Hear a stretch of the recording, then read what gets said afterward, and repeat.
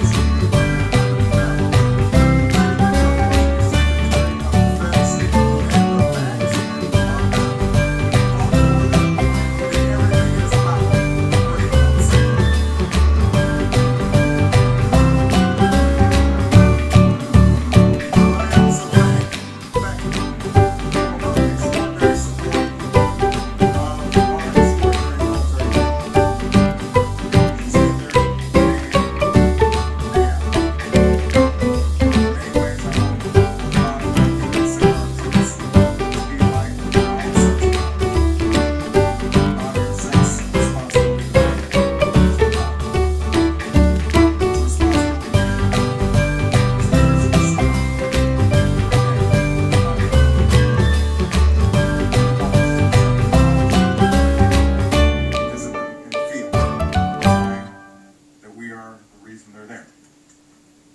We've stood in solemn respect at Dover when our fallen heroes have made their final journey home.